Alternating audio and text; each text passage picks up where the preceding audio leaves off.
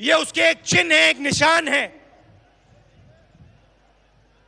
चाहे वो नरेंद्र मोदी जी की सरकार हो, चाहे वो शिवराज जी की सरकार हो, चाहे वो किसी भी बीजेपी की सरकार हो, उन सरकारों के दिल में हिंदुस्तान के किसान के लिए इतनी सी जगह नहीं है। यह सच्चाई है। ढाई लाख करोड़ रुपया। हिंदुस्तान के पंद्रह सबसे बड़े उद्योगपतियों का माफ़ किया जा सकता है। मगर हिंदुस्तान के करोड़ों किसानों का एक रुपया नहीं माफ़ किया जा सकता है। दिन भर दिन भर चीफ मिनिस्टर और प्रधानमंत्री भाषण देते हैं। रोज़गार की बात करते हैं, किसानों की पूजा करते हैं अलग अलग चीज़ों के बारे में बोलते हैं। मगर जब किसान खड़ा होता है, कहता है, हमें सही दाम चाहिए, हमारा कर्जा माफ़ कीजिए, हमारे साथ खड़े होइए। तो नरेंद्र मोदी जी और मध्य प्रदेश के चीफ मिनिस्टर कहते हैं, हमारे पास आपके लिए कोई समय नहीं है। हमें और कुछ करना है। हम आपकी बात नहीं सुनने वाले हैं। आपको जो बोलना है, आप बोलो। हमें कुछ और करना है।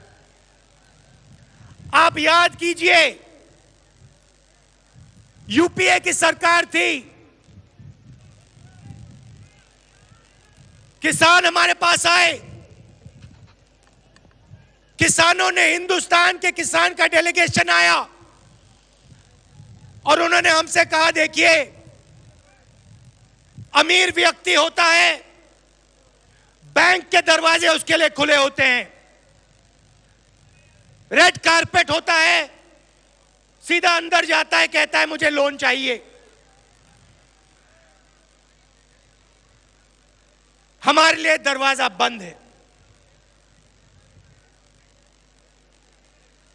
आपने हमसे कहा कि हमारा आप कर्जा माफ़ कीजिए। और मैं आपको बताना चाहता हूँ कि 10 दिन के अंदर 12 दिन नहीं लगे 10 दिन के अंदर यूपीए की सरकार ने सत्तर हज़ार करोड़ रुपए आपका कर्जा माफ़ करके दे दिया। और मैं स्टेज से, और मैं स्टेज से मंदसौर के किसानों को इन परिवारों को और हिंदुस्तान के किसानों को बताना चाहता हूँ। कमलनाथ जी यहाँ बैठे हैं, सिंधिया जी बैठे हैं, कांग्रेस पार्टी के नेता बैठे हैं। मैं आपको आश्वासन देना चाहता हूँ इस स्टेज से। जिस दिन मध्य प्रदेश में कांग्रेस पार्टी की सरकार आएगी, उसके बाद आप 10 दिन गिनना। और 10 दिन के अंदर गारंटी करके कह रहा हूँ, यहाँ पे आपका कर्जा माफ़ हो जाएगा। 11 दिन नहीं लगेंगे 10 दिन के अंदर कर्जा माफ़ हो जाएगा। और दूसरी बात कहना चाहता हूँ, ये जो यहाँ किसान के परिवार आए हैं ये जो यहाँ किसान के परिवार आए हैं, मैं आपको कहना चाहता हूँ। और खास तौर से उस महिला से कहना चाहता हूँ, जिससे आज मेरी बात हुई। जैसे ही यहाँ कांग्रेस पार्टी की सरकार आएगी, दस दिन के अंदर आपको न्याय मिलेगा। और जिन लोगों ने आप पे गोली चलाई है, उनके खिलाफ हम कार्रवाई करके दिखाएँगे। हिंदुस्तान के किसान ने इस देश को खड़ा किया है।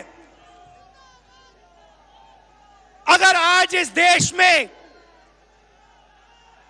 सब लोग खाना खाते हैं, भोजन मिलता है तो कोई बड़े उद्योगपतियों ने यह काम नहीं किया है। यह काम हिंदुस्तान के किसानों ने, हिंदुस्तान के मजदूरों ने और उनके परिवारों ने किया है। और अगर हम हिंदुस्तान के किसानों की रक्षा नहीं कर सकते हैं तो हमारी सरकारों का कोई मतलब नहीं है। पहला काम, हिंदुस्तान के किसानों की रक्षा, हिंदुस्तान के किसानों की परिवारों की रक्षा करने का है। अभी मुझे बताया गया है कि 1200 किसानों ने मध्य प्रदेश में आत्महत्या की। एक के बाद एक एक के बाद एक। मंदसौर के किसान, मध्य प्रदेश के किसान आत्महत्या कर रहे हैं। आप, मैं आपसे सवाल पूछना चाहता हूँ।